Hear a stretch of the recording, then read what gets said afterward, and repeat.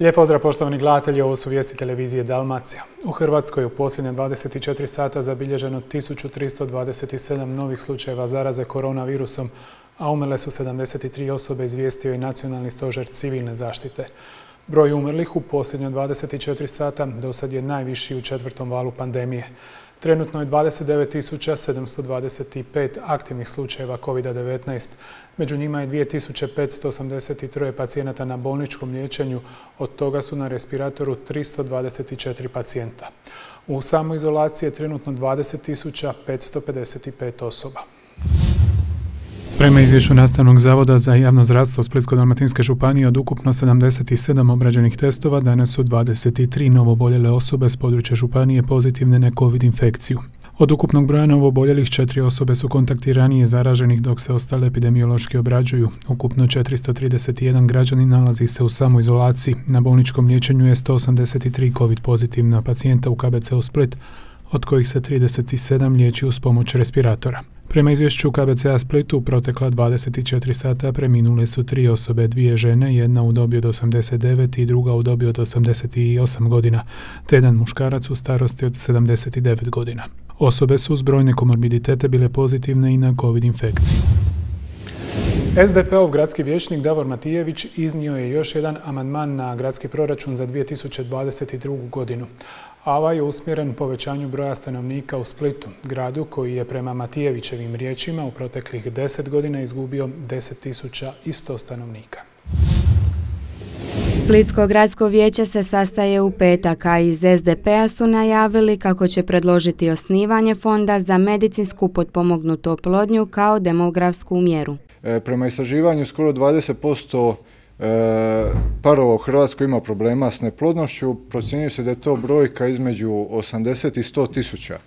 E, u Hrvatskoj se godišnje izvede 7500 postupaka medicinski potpomognuto oplodnje, a samo u gradu Splitu u KBC-u uz pomoć ovih postupaka rodi se preko 100 djece.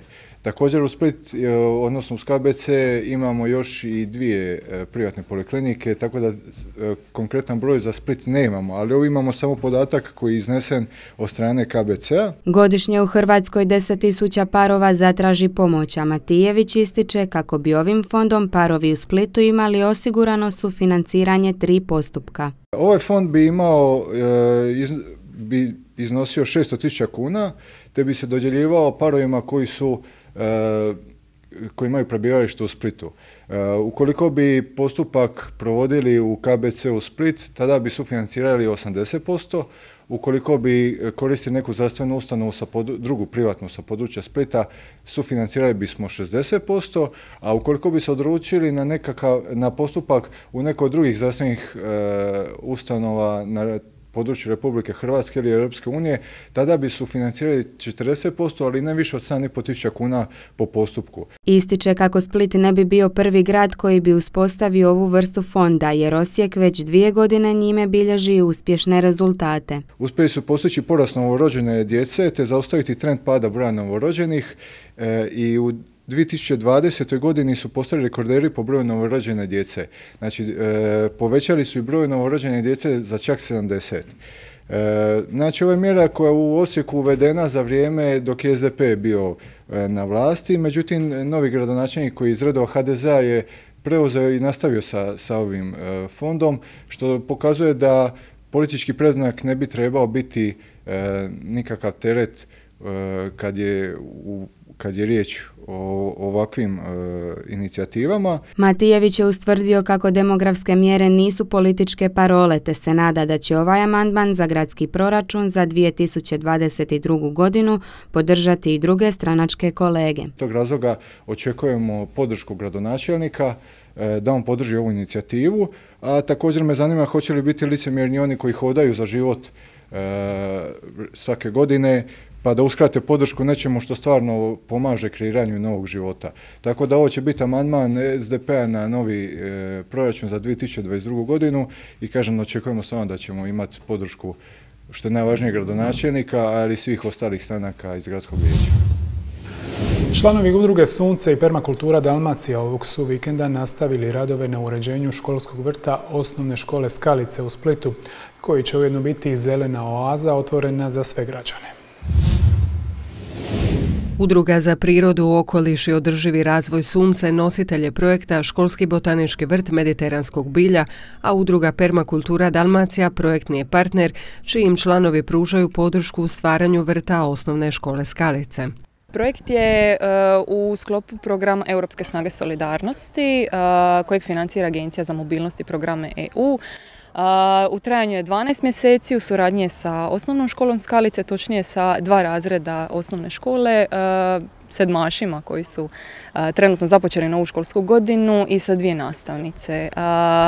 Ciljali smo takvu skupinu, odnosno učenike, da imamo e, tu dozu održivosti projekta, znači da prenesemo e, priču cijelog vrta i njegovo održavanje, ono potrebu za njegovanjem e, dalje na generacije. Pa sad pitanje je kako će to izgleda dalje, ali sigurno znači da će uspjeti biti uspješna kao što evo započela. Sunčani dan su iskoristili za nastavak radne akcije na izgradnji suhozida koji će biti dio učionice, te su dovršili veći dio glavnog puta, prostora na kojem će se organizirati školski sajmovi. Trenutno smo na drugoj akciji uređenja i sadnje bilja. Zadnji put smo e, posadili ogradu i živicu, evo sada uređujemo stazu i drugi dio suhozida. Tu će biti svega, bit će ovaj dio vezan za amfiteatar, e, kao nekakva vanjska učionica, bit će tu i gredice, slobodan prostor za, e, za igru, klupice, uskoro klupice za sjest. Tako da e, vjerujemo jedna jako lijepa površina za druženje sa djecom u edukativne svrhe, u obrazovne svrhe. Učenici sedmih razreda koji su uključeni u projekt već su upoznati s pojmom permakulture i ciljem ovog projekta. U budućnosti ćemo i odradi radionicu kompostišta, odnosno izrade kompostišta, jer je i to dio uključen u priču, ali korak po korak doćemo do tada. Projekt je započeo u siječnju ove godine i traje godinu dana. To je jako širok pojam permakultura, jako teško kada vas neko pita što je to permakultura. Zapravo permakultura je ajmo reći, nekakav stil života u, u suradnji sa prirodom, promatrajući i učeći od prirode da pronađemo načine, dizajne i ajmo nazvat to životni stil u skladu s prirodom i u skladu s tim prirodnim procesima koji nas najviše mogu naučiti održivosti, onome čemu težimo pogotovo u današnje vrijeme. Udruga Permakultura uh, bavi se svačim.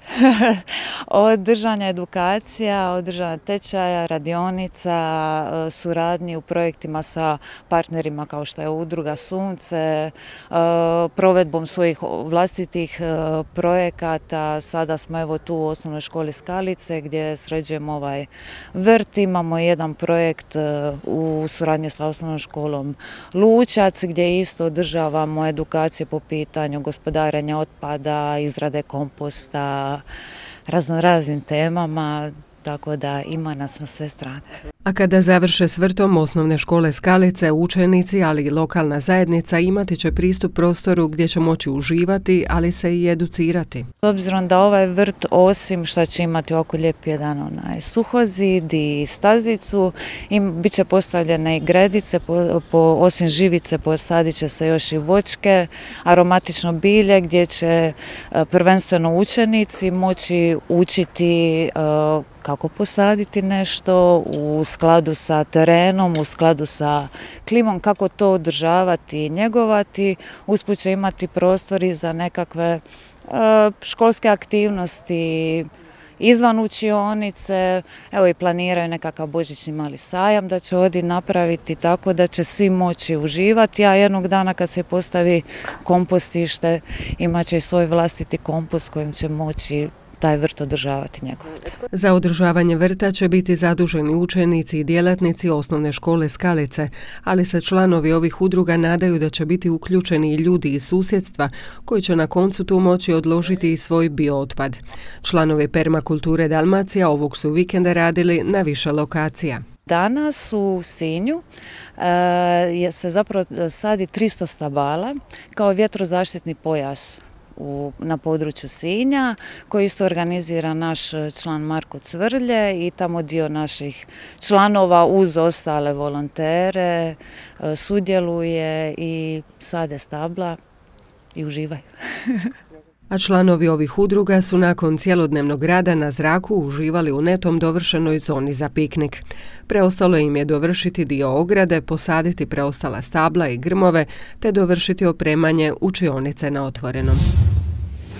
Ajmo govoriti o zdravlju, mentalnom zdravlju. Kampanja je Udruge Most u okviru koje je postavljena izložba drugačija od drugih, ona koja nudi pomoć i moguć odgovor na pitanje o problemima mentalnog zdravlja mladih. Deset velikih metalnih panoa s različitim informacijama postavljeni su pred Splitskim sveučilištem zajedno s uputama kako zaštititi mentalno zdravlje i djece i mladih. A prilikom otvorenja same izložbe predstavljeni su i brojni projekti koji će pomoći u rješavanju upravo ovog problema. U Hrvatskoj prema dostupnim podacima procjenjuje se da oko 50 tisuća djevojčica i dječaka u dobi od 10 do 19 godina živi s nekim od mentalnih poremećaja, a upravo o tome progovara izložba otvorena u sklopu kampanje Ajmo govoriti o zdravlju, mentalnom zdravlju. To je brojka koja je teška, alarmantna i možda zapravo najviše poražavajuća. One nisu manje brojke ni kod nas. U Republici Hrvatskoj također gotovo svaki peti mladi čovjek ima neki od problema mentalnog zdravlja. Želimo da progovaramo o mladima kontinuirano, stalno iz pozicije njihovih potreba. Jer ove promjene koje su se dogodile zaista su značajne i djeca i roditelji se jako teško snalaze u ovim promjenama. Ono što ja mogu reći iz prakse, onoga što radim je da smo primijetili da nam djeca dolaze sve mlađe dobi, znači već u osnovnoj školi imamo dosta djece koji imaju značajne probleme vezane za anksioznost, vezane za depresivnost, e, vezane za samoozljeđivanje, što moram reći da prethodnih godina nismo imali baš u osnovnoj školi. Imali smo takvu djecu koja su imala takve poteškoće srednjoškolce, ali ne i osnovce. Ispred Splitskog sveučilišta postavljeno je deset metalnih panoa s plakatima, na kojima su informacije i upute kako mentalno zdravlje djece i mladih možemo zaštititi i osnažiti, a predstavljeni su i punktovi u Republici Hrvatskoj na kojima mladi mogu dobiti pomoć. Plan da pomogne mladima ima i trenutna splitska vlast. Grad Split upravo donosi strategiju do 2030. godine u kojoj moraju biti implementirani svi problemi koje ovaj grad mora sustavno rješavati idućih 10 godina. Jedan od tih je mentalno zdravlje građana u cjelini, a pogotovo mladih ljudi. Tu imamo i novi savjet mladih grada Splita koji ima svoj program rada koji donosi na kvartalnoj razini, to je trogodišnjoj, i koji mora detektirati probleme u našoj zajednici i ponuditi određena rješenja. Mi kao političari moramo ih saslušati, implementirati sve ono što bude moguće za dobrobit onih najmlađih, a u konačnici svih naših građana. Splitsko sveučilište ovom problemu posvećuje pažnju već dugi niz godina. I do sada je sveučilište već u niz godina prepoznalo ovo o čemu danas e, udruga Most e, s kojom smo i do sada imali zajedničku suradnju i sveučilište u Splitu je i za prehranu i za beskućnike do sad imalo zaista dobru suradnju sa, sa mostom i na ovaj način podupire e, bilo koju vrstu aktualizacije problema u današnjem vremenu, složenom vremenu u kojem žive e, i obitavaju posebno naši mladi kao jedno e, središnje tkivo studenti i ono što je i rektor naglašavao i profesor Ljutić, dakle studenti, studenti i studenti. No nije samo Splitsko sveučilište mjesto gdje mladi mogu pronaći rješenje. O tome se brinu i brojne druge udruge koje djeluju na području Splita. Mi smo, pa mogu reći, preko stotinjak suradnika kroz, ove godine okupili. E, na način koji mi dakle tim pojedincima, neformalnim grupama, udrugama dajemo E, podršku, dakle osim osiguranja prostora, logističke neke podrške, često i financijske podrške, zapravo kroz tu neku našu suradnju e, godišnje organiziramo i tisuću sati besplatnog programa za mlade, to su dakle i nastupi, izložbe i tematska druženja i predavanja i radionice. E, ono što je bitno, dakle, isto naglasiti da je taj program besplatan, dakle jednako je dostupan za sve mlade. I cijela zapravo poanta tog projekta je da uz to što organiziramo događaje, da pomožemo ljudima da oni sami organiziraju događaje i da provode kvalitetno vrijeme, isto tako da možda dijele svoje vještine sa drugim ljudima i da im mi to omogućimo da se to lakše obistini. I mi u Mostu imamo i neku, neki princip i neku vrijednost da im olakšamo i stvorimo jedno dobro i sigurno mjesto za njih, mjesto u kojem će oni moći jačati neke svoje snage i vještine i mjesto koje će im poslužiti možda kao jedna zaštita i zaštitni čimbenik u njihovom odrastanju. E, to radimo tako da ih uključujemo i u savjetodavni rad, njih i njihove roditelje, obitelji i skrbnike, ali i u aktivnosti slobodnog vremena, edukativne aktivnosti za djecu i obitelji. U svom radu ne radimo samo sa mladima, nego sa osobama svih dobi i različitih poteškoća, od onih nekakvih uobičajenih svakodnevnih povremenih anksioznosti do depresije, šizofrenije, osobama koje su u strahu od suicida ili obiteljima koje imaju takve poteškoće. Ono što smo primijetili zadnjih, godina, zadnjih godinu dana da nam se sve veći broj mladih javlja. Kao što je rekla Đordana, u velikom je porastu suicid. Nažalost, Hrvatska Splitsko-Dalmatinska županija je na drugom mjestu u Hrvatskoj po broju suicida u prošloj godini. I nažalost prognoze nisu baš pozitivne za budućnost. S ulaskom u treću godinu pandemije COVID-19 mentalno zdravlje i dobrobit djece i mladih i dalje je i takako ugroženo. Prema najnovijim dostupnim podacima UNICEF-a, globalno je najmanje jedno od sedmero djece izravno pogođeno zatvaranjima i ograničenjima, dok je više od 1,6 milijardi djece pretrpjelo neki oblik gubitka u polju obrazovanja. Istaknula je ove podatke udruga Most. Nakon stanke od dvije godine, jedna od najpoznatijih splitskih likovnih manifestacija posvećena suvremenoj umjetnosti, 41. splitski salon, otvorena je u multimedijalnom kulturnom centru, a traje sve do 16. prosinca. Organizirala ga je Hrvatska udruga likovnih umjetnika, a ovogodišnja tema je Ne posve izgubljeni jedni za druge. Započelo je 41. izdanje Splitskog salona. Ovoga puta pod temom ne posve izgubljeni jedni za druge, a u fokusu stavljene žene. Mislim, Splitski salon je najvažnija splitska, možda je županijska, ako ne dalmatinska manifestacija suvremene umjetnosti. Jug se trudi svojom temom nekako odreagirati na prostor i vrijeme u kojemu živimo. Tako da prethodna dva salona su se orijentirala na splitsku umjetničku scenu. Tako da 39. salon je baš uputio poziv svim članovima i izlagalo se praktički sve što je pristiglo, tako da se pokušala napraviti jedna socijalna skultura.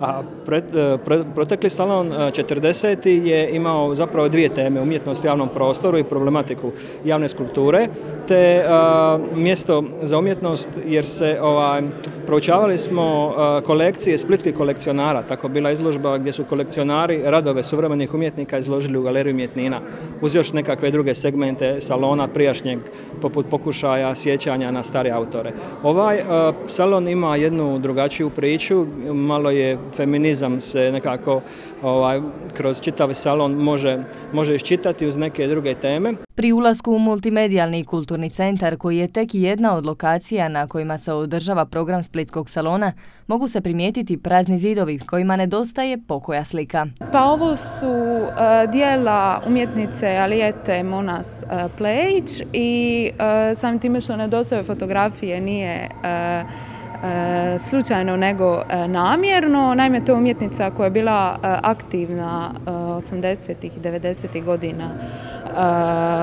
prošlog stoljeća i cilj je okupiti njezine radove pa pozivam ovim putem sve one koji u Splitu ili okolici imaju neke njezine radove u posjedu da nam se jave kako bi mogli napraviti nekakav popis njezinih dijela. Postavljeni zastori u prostoru MKC-a izazivaju znatiželju, a iza njih se sakrila izložba projekcija. Ovo što vidite ovdje, ti radovi se bave uglavnom interpretiraju uloge žena, odnosno prikazuju skrivene narative žena u historiji kroz kroz motiv neolitičke figurice. Ima tu i drugih radova koji se bave pozicijom žene umjetnosti, odnosno odnosom žene amaterke i žene kao profesionalca. Za ostale stvari dođite i vidite, uvjerite se sami. Izložba je super zanimljiva, bavi se temom feminizma i mislim da je jako aktualna trenutno. Ova izložba je slojevita, ističe kustosica Ivana Meštrov. Vidjet ćete, uistinu je, ja mislim, vrlo živa, multimedijalna izložba, pogotovo u ovom prostoru, je mišljena na taj način i sa, ovaj, opet kažem, jednim nježnim poetskim tonom. Htjela sam na taj način ovaj put u ovom vremenu koje je dosta ovako teško za sve nas možda ponuditi neku malo mekaniju izložbu. Savršen je ovo prikaz napretka i razvitka umjetnosti kroz vrijeme. Vrijeme nosi svoje narative, ali isto tako i svoj medij, svoju tehniku, svoje, e, nekako svoje izraze. Tako da mislim da je normalno da idemo ukorak s vremenom, da idemo i prema digitali, ali ne smijemo opet zaboraviti na ono fizičko. Koliko god smo trenutno u e, periodu i nekih ukidanja fizičkih kontakta, ali umjetnost je na neki način i vrlo utjelovljena, pa makar se ona sad bavi, makar je ona bila na kraju prezentirana ili prisutna kroz pokretnu sliku, mislim da će to vidjeti to i kroz prolazak ovom izložbom. Program ove popularne likovne manifestacije 41. Splitski salon održava se u više sekvenci te na nekoliko specifičnih gradskih lokacija i muzejsko-galerijskih prostora. Između ostalih u salonu Galić, Hrvatskom pomorskom muzeju Split te akvariju Bačvice. Od petka do nedjelje u Splitu je održano prvo otvoreno prvenstvo Hrvatske u klasi Melges 24 na kojem je nastupilo 15 posada, a na regati je pobjedila posada jedrilice Strama Papa, čiji je kormilar Michele Paoletti, dok je prvi prvak Hrvatske posada jedrilice Tuta Forca koju je predvodio Šime Fantela, zlatni olimpijac iz Rio de Janeira u klasi 470. Krajem prošle godine Hrvatska Melđes flota brojila je sedam brodova, no stvari su se potom počele odvijati vrlo brzo i mnogi istaknuti jedriličari odlučili su nabaviti te brze male jedrilice, pa Hrvatska flota danas broji 15 brodova. Na prvoj regati u toj klasi ovog vikenda nadmetali su se trofejni hrvatski jedriličari svih generacija u 15 posada, od čega 14 pod hrvatskom zastavom. E, ekstremno neizvjesno do samog kraja. Šta reći, e, kao klasa i predstavnik klase smo jako zadovoljni za e, cilj prve godine koji smo postavili smo ga ispunili. Što se tiče nadmetanja i konkurencije ne može biti bolja od hrvatske aktualne scene, na jedriličarske scene. Mislim da su svi osim par imena ovaj, tu i to je dalo jedan jednu posebnu dimenziju kakva do sad na hrvatskim regatama sigurno nije bila viđena. U klasu su ušla dva osvajača olimpijskih medalja. Tonči Stepanović koji je u klasi laser osvojio srebro na olimpijskim igrama u Riju i Tokiju, te Šime Fantela osvajač zlatne medalje u klasi 470 na olimpijskim igrama u Riju. Njima su se pridružili drugi hrvatski jedriličari koji su sudjelovali na olimpijskim igrama. Ivan Kljaković Gašpić, Toni Bulaja, Luka Radelić, Karlo Kuret i Tomislav Bašić, te cijeli niz ponajboljih jedriličara koji jedre na One Design regatama i regatama krstaša. Šta reći, e, kad je krenula ta inicijativa, e, ovaj brod je poznat kao jako dobar, kvalitetan brod za jedrit, svi su je podržali. Kada su čuli ko će sve jedrit, jedan drugoga su ovaj, nekako postavili su izazov svaki od njih rekli ajmo pripremiti svoju posadu i sudjelovati na tom prvenstvu. E, to je dalo posebnu dimenziju ovoj klasi jer e, jednostavno uz njih su tu ljudi koji su prije bili e, aktivni jedriličari, kasnije su nastavili sa biznisom i dalje se u ovoj klasi mogu obračunati sa najboljim aktualnim olimpijcima. Većina hrvatske flote nalazi se u Splitu. To je brod koji je jedinstven, svi su gotovo jednaki, sva pravila su jako stroga i dođe doslovno do, do samog performansa i znanja, ova, performansa dođe do samog znanja i trima uigranosti posade. E, užitak jedri, to nije sporno, a brod sam po sebi je jako jednostavan, jedri se u četvero petero. Ja imam ogromnu želju za jedrenjem i to u što više klase, međutim olimpijsko jedrenje je tako, e, tako ti zauzme cijeli kalendar, nemaš vremena za ništa drugo raditi, međutim olimpijske igre su završile i ovaj period godine je idealan za to. A Međes 24 se pokazala kao idealno jer e, doma je, vrhunski jedriličari su tu, brod je super, nema tog nekakvog tehničkog, tehničke razlike među brodovima bogatih i siromašnih, što se zna desi u jedrenju. Svi brodovi jednaki i jednostavno takav trening, vrhunski trening nemoguće ovaj, ne doći. Iz svog krstaškog iskustva Fantela je ovu regatu ocijenio jednom od najkvalitetnijih na kojoj je sudjelovao. Odlična regata, mislim da je bilo preko deset olimpijaca, što naših, što stranih, tako da prava poslastica za, za, za nas jedriličara. Brzina na regatnom polju, taktika i postavljanje presudili su da naslov osvoji posada jedrilice Tuta Forca, jedriličarskog kluba Uskok iz Zadra. Što ga je privuklo regati, kazao nam je Ivan Kljaković-Gašpić koji se natječe u klasi FIN. Pa prva stvar, e, evo, prošlo je šest godina od zadnjeg dana mog jedrenja aktivno u, nekoj ozbiljnoj regatnoj klasi i evo, dogodio se jedan dobar moment u Hrvatskoj, krenila je ta priča sa van dizajnom, ozbiljnim. E, danas svjedočimo, ja bih rekao, jednom povijesnom trenutku u Hrvatskoj da se ponovno vratila jedna ozbiljna regatna priča u malim e, krstašima na jednoj jako visokoj ozbiljnoj razini gdje su svi rodovi isti. I evo, upravo to me privuklo i to je u, suštini smisao jedrenja da smo svi isti, da svi imamo ista, iste brodove, iste uvjete, iste predispozicije i eto, okupili smo se Treći dan je jedriličare počastilo Jugo. Mogu reći da sam super zadovoljan sa svom posadom i eto, sa mojim ovaj, voženjem broda dva druga mjesta, u stvari dva prva kad gledamo hrvatske posade što me čini iznimno ponosnim i eto mislim da smo odradili jako dobar posao u pripremi i čekamo sada sljedeću sezonu. Mjesto na međunarodnoj sceni u ovoj klasi im je neupitno. Regatu je vodio još jedan sudionik olimpijskih igara Marko Mišura. Flota koja je tako izjednačena, jedriličari vrhunski, posao regatnog odbora sa takvim jedriličarima i sa takvom flotom onda nije ni malo lagan jer moramo stvarno paziti na sve detalje i moramo i mi biti na, na visini zadatka isto koji i oni, tako da nadam se da smo i Od devet planiranih jedrilo se sedam puta, a na finalu prvenstva su dočekali Jugo od 12 čvorova. Prognoza nam nije bila naklonjena, međutim e, vremenski uvjeti su nam išli na ruku tako da smo napravili sedam jedrenja e, bez, bez ono mrlje što se kaže. Jedna od posebnosti ove klase je što okuplja najbolje jedrilišare, ali i uspješne poslovne ljude kojima je jedrenje strast. Nastup na regati najavilo je nekoliko jakih inozemnih posada, no zbog komplikacija vezanih u zdravstvenu krizu morali su otkazati dolazak. Poštovani gledatelji, hvala vam na pozornosti. Bilo bi to sve u vijestima televizije Dalmacija za danas. U nastavku programa slijedi i vremenska prognoza. Srdačan pozdrav!